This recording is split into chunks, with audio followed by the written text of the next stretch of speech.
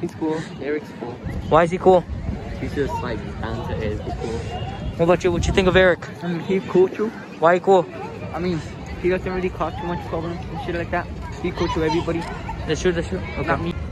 So what's your thoughts on him? Uh, my thoughts are, he's um, he's pretty good. Um, and uh, sometimes when he gets pissed, he gets pissed. So like, don't mess with him. And uh, yeah, my thoughts are pretty good. Shout out, shout out to um my boy and the camera. What's your thoughts on him? About who, Eric? Yeah. He's cool. He's, Why? uh, he's tall. He's awesome. He's gay? No, he's not gay. Um, be that. Uh, no, he's, he's awesome though. Very cool, bro. Very Yeah. cool about him. Very interesting. Yeah. Uh, I'm on Eric's side.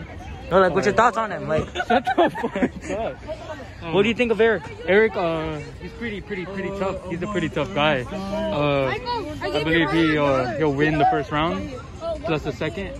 Um, he's gay though. That's it.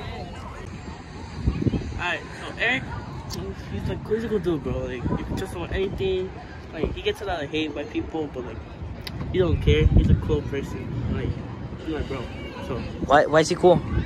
you know, like, like, like, when I was like, when I was sixth grade, bro, this kid wanted to jump me, and he was there for me. So, like, something happens, and if you're bro, he'll help you out. Would you beat Eric? Would you beat Eric in a fight? I don't know. I probably would never fight him. There's no point. Interesting. I'm gay. Alright.